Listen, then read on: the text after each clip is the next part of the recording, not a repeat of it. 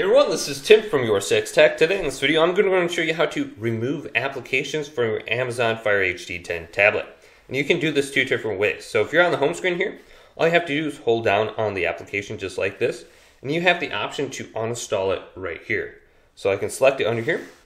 Otherwise, I can scroll down from the top of the screen, then go to the settings page right here, and locate applications under here.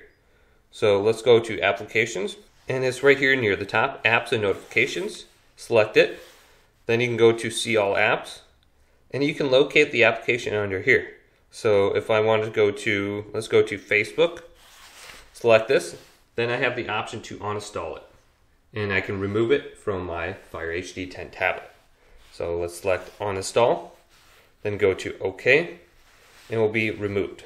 So that is two different ways that you can delete and remove apps from your tablet. If this video did indeed help you out, leave it a big thumbs up and subscribe to my channel down below for more tech up videos coming up next on your six tech.